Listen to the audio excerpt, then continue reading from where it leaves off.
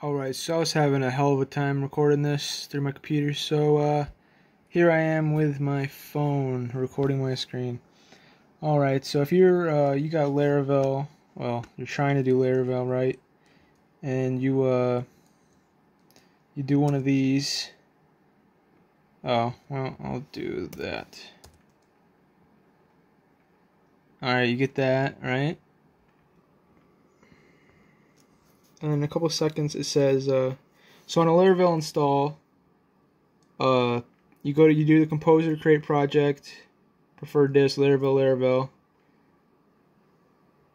And then it says updating dependencies and then you get proc open well error exception proc open fork failed cannot allocate memory. So this happens because you're on like a one gigabyte server so there you see I got a uh, 1 gig of RAM, half gig of swap, and a lot a lot of RAM is free. But what you gotta do is uh,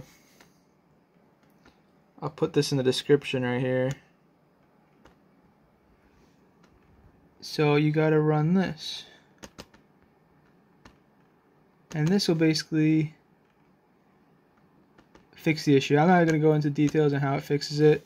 Just know that it does. And it has to do with your swap memory not being used properly. Alright, so let me clear this out. Okay, let me paste that in.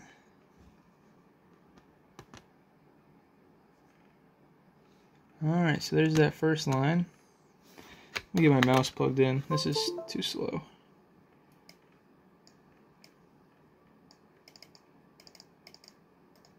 There's that second line. I couldn't find my mouse.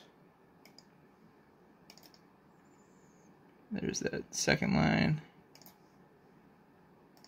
And the third and last line.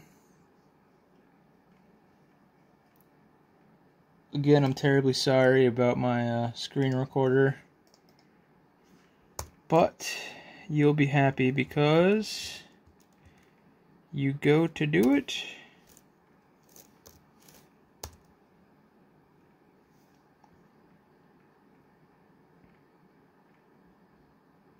Check this out. Check this out.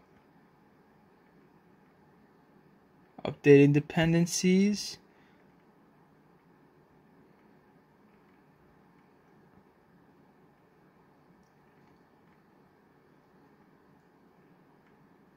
Wow, would you look at that?